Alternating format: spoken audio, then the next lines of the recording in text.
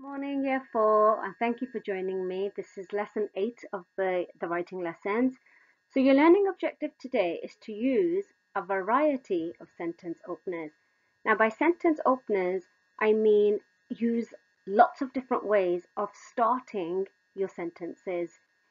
So, your success criteria is I want you to start your sentences using fronted adverbials, and that can be fronted adverbials of time, manner, place, or reason, and you're very good at doing these, so this shouldn't be a problem. Um, I also want you to use ing clauses at the beginning of your sentences. So this is new learning, and I will explain this more.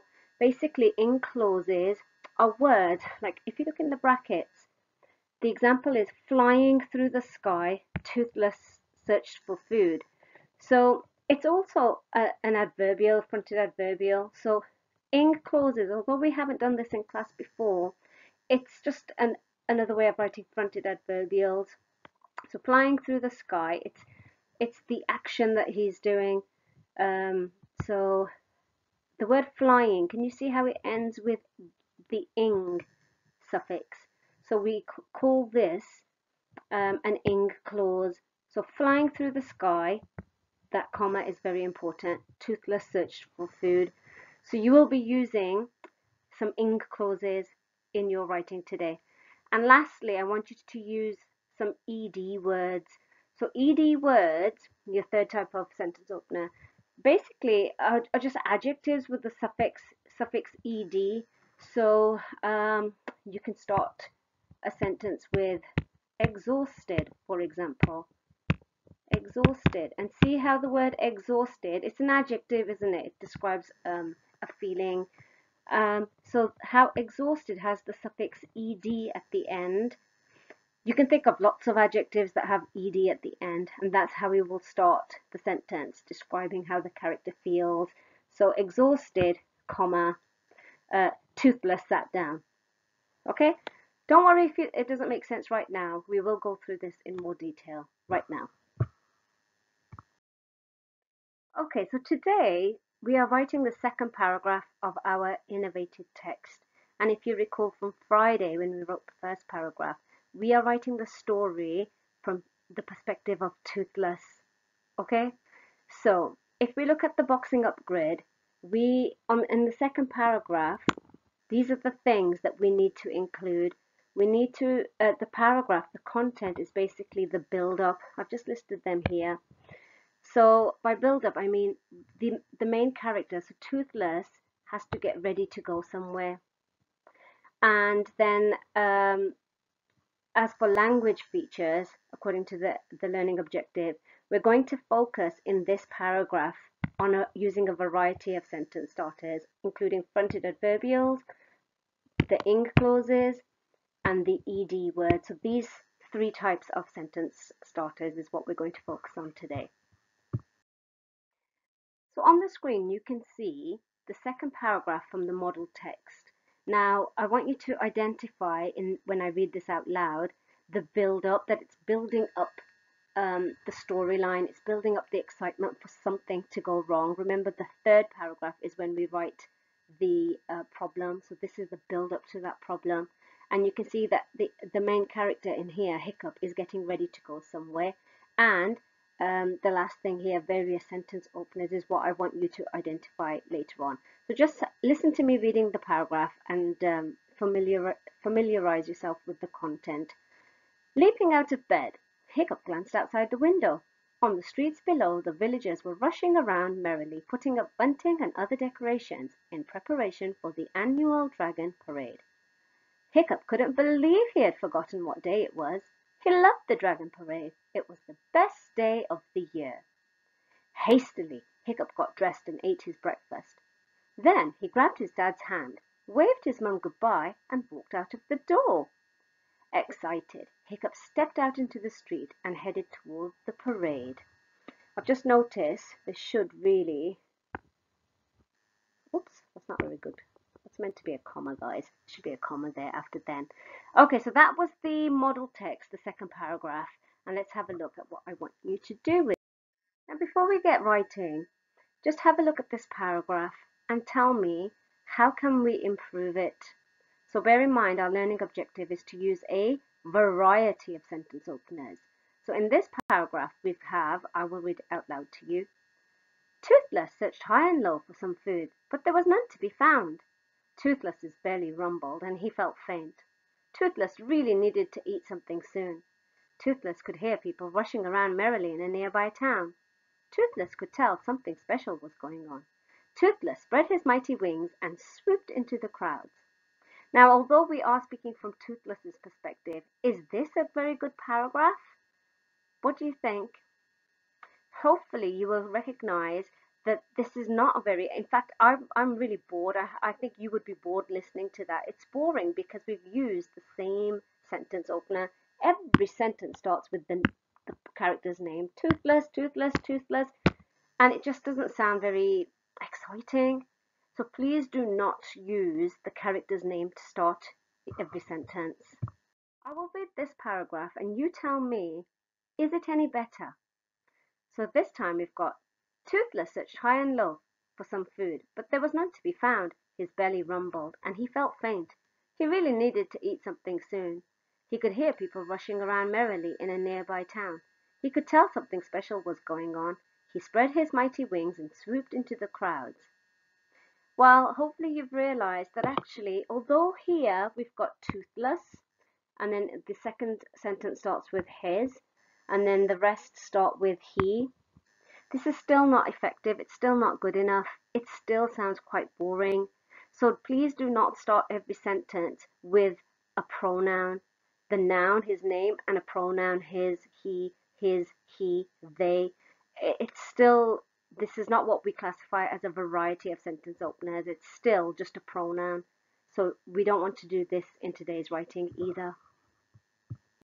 So why should we start our sentences with a variety of openers, with lots of different sentence openers? Well, the first and foremost reason is because your story will sound more interesting if you start it, if you use different language features and starting a sentence in different ways.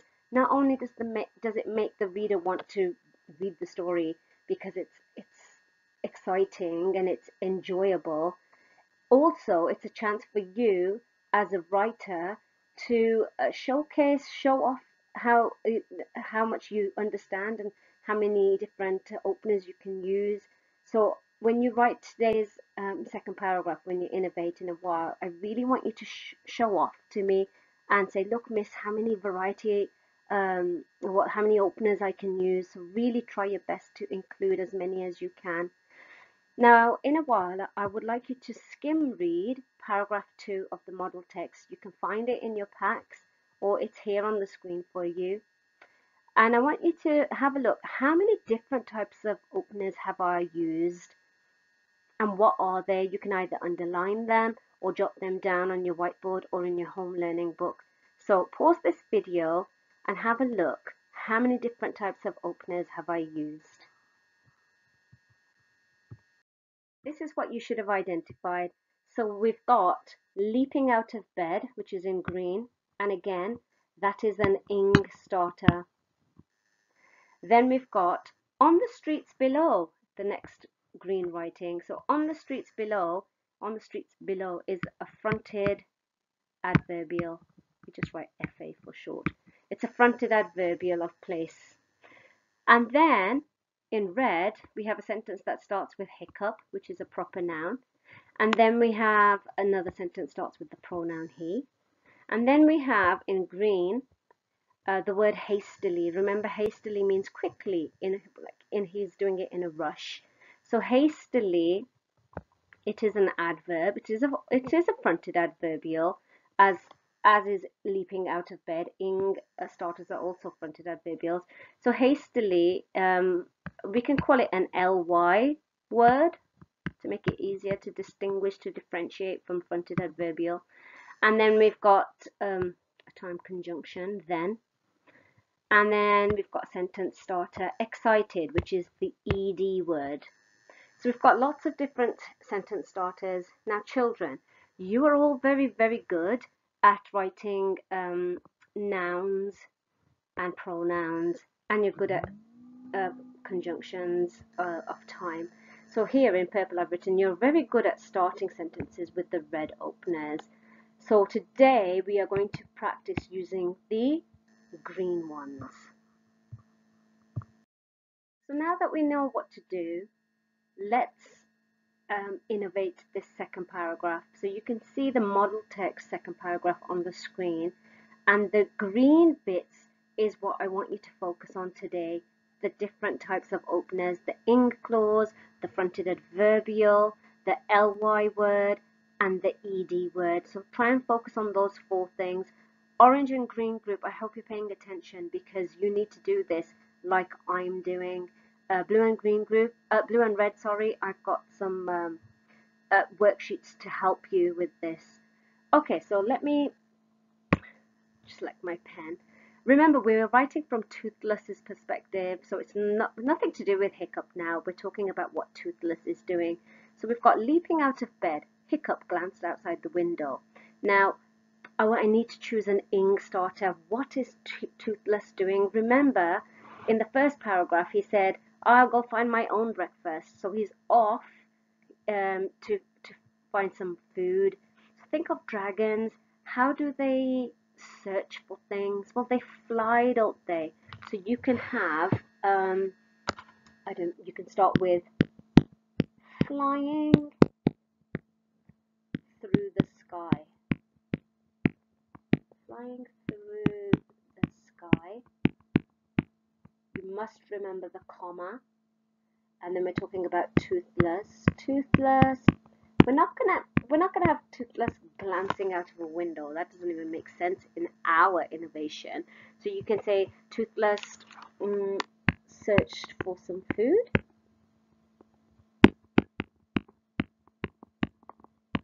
Searched for some food.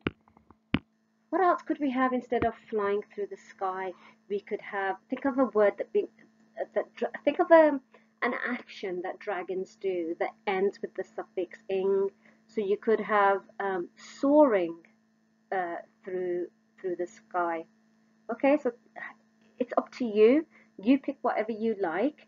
If you're unsure, you can magpie, magpie flying or soaring. Um, and then let's move on. On the streets below, so this is a fronted adverbial, the villagers were rushing around merrily. Um, so instead of because he's not actually there. Toothless isn't actually there. So we could say, think of a, fronted adverbial where we're saying the villagers were rushing around merrily. So Toothless could see people rushing around merrily. Okay, because he's not part of the dragon parade, is he? He just he crashes it. So think thinking of a fronted adverbial. I'll do it in a different color just to make it easier for you. You could have in the distance. Toothless could hear people rushing around merrily, or you could have in a nearby town. I'm just making it up. In a nearby town. Again, please remember the comma after your fronted adverbials. Um, in a nearby town, I'm just going to do T, if you don't mind, T for toothless. Toothless could hear, um, and then we, we can copy the rest of that paragraph. Toothless could hear villagers what we wouldn't have were villagers rushing around merrily. Okay, the rest, the black writing on the screen, I don't mind if you condense it. I'm only focused on your the green writing today, but don't just do different um, sentence starters. You do need some meat on those bones. You do need extra details. So in a nearby town, comma, Toothless could hear uh, people rushing around merrily. Okay, so we've got our fronted adverbial. The next one, remember we're not doing the red ones. We don't need to focus on those. We need to think of an ly word. Now, we could do hastily, but of course we're not talking about hiccup. We're doing toothless. So toothless could probably be, um, what could he do? Toothless spread his wings and swooped down on the on the crowds. We could have that. So how does he spread his wings? We could have um, maybe mightily, mightily,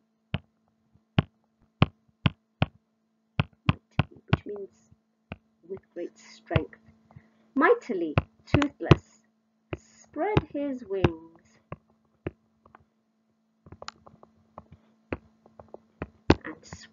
down on the crowd. I'm not going to write all of it. Unfortunately, on the screen I don't have space to write the whole sentences. Instead of mightily, you could have, how else might he spread his wings? Um, quickly, Toothless spread his wings. Scarily, uh, Toothless spread his wings. So pick an ly word that will fit there, that will be um, effective in that sentence. We're not going to do then. Um, let's think of an ed word. mm, right, so in, in the model text it says excited, Hiccup stepped out onto the street. So now we want Toothless to go towards the food stalls. Remember, because then he crashes. That's the problem that he can't control his flying and he crashes and then he has food slop all over his face, if you recall that from the model text. So in the last paragraph, remember what I said before, children, you need to think about each paragraph and make sure the storyline flows. So we know we want Toothless to crash into the food store. So it needs to be a word. How is how is how is Toothless feeling before he crashes into the or or he we don't want him to crash yet. That's the problem. We want him to head towards. He's going towards the food store. And we know from paragraph one he hasn't eaten. There's no food, so he's hungry. We can't use hungrily because that's an ly word. What ed word can we think of that means hungry? You could have famished. Sorry about that. Famished. Oh, I'm going to rub that out because it's not written very clearly. And like I always say to you, please make your writing legible so I can read it. And I haven't done that, so I'm going to rewrite that. You can have the word famished. Famished means really hungry. I sometimes say to my family, I'm famished. What's for lunch today? So famished. And remember with ed words, the comma is not after the clause. This is different. The comma goes after the word, the ed word. So famished, um, toothless, headed towards the food stalls that makes sense because he's hungry. He wants to go straight to the food stalls. He doesn't want to mingle with Hiccup and his dad and all the crowds. He just wants to eat. Is there another word with ed word that you could have? You could have um, starved. That has an ed at the end. You could have starved, comma, toothless, headed towards the food stalls. You could even have exhausted, comma, toothless, headed toward the food stalls, or um, tired, comma, toothless headed towards the food stalls. All those words have ed at the end. So what I would like you to do um, is just pause the video now and just have a think about which ing starter, fronted adverbial, ly word and ed word that you could use. So this is green and, and orange group. Just have a think on the next slide, I will show you my second innovated paragraph, but please be mindful, I do not want you to copy it exactly. So I've just modeled the thought process, how you can think of your own starters, but do take a look at mine now on the next slide. I'll read it out to you.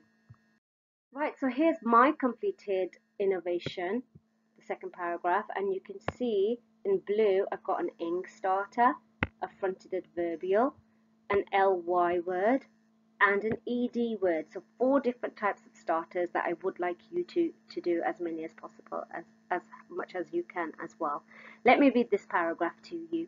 Soaring through the sky, Toothless searched high and low for some food, but there was none to be found. His belly rumbled and he felt faint. He really needed to eat something soon. In a nearby town, Toothless could hear people rushing around merrily. Something special was going on. The sweet scent of freshly baked bread wafted through the air. Maybe it was a party. Quickly, Toothless spread his mighty wings and swooped into the crowds. Famished, he headed straight towards the food stall. And that's it. So, like I said, the black writing here is the meat on the bone. So, you, it is an adventure story. So, please do make it exciting and add a little bit more than just starters. Kind of an interesting paragraph or an interesting stories with just starters. You need to add something else. So what I wanted you, what I want you to do is um, find the sheets on Seesaw allocated to your own group. So red group and blue group. Um, the sheet that you will have, I've given you some ideas. I want you to copy it into your home learning book and upload it onto Seesaw. Green and orange group, I have also given you some examples of different um, starters, so use that, but write the whole second paragraph into your home learning books and upload them on Seesaw. Um, don't stop the video just yet. I've got one more slide that I would like you to do because I want you to be independent learners and I want you to be in charge of your own writing. So just take a look at the next slide. Okay, so we have some self-assessment. That means when you finished writing your story, just to check, sorry, to when you finish writing your second paragraph, just check that you've done what uh, you've been asked and whether you've met the um, LO. So I want you to, number one, read your work out loud, hear it, does it make sense? Have you missed any words out? Um, number two, just count how many different openers did you use. Remember, the goal is four different types. Uh, some of you may have had, uh, used more. I'd be very intrigued to see that. I want you to underline the fronted adverbials using your green pen. Um, so your in clauses and your ed words and your ly word as well. It's not actually written there because it's an example of a fronted adverbial, but um, yeah, do the ly word as well. In fact, I will add it right now. And the ly word.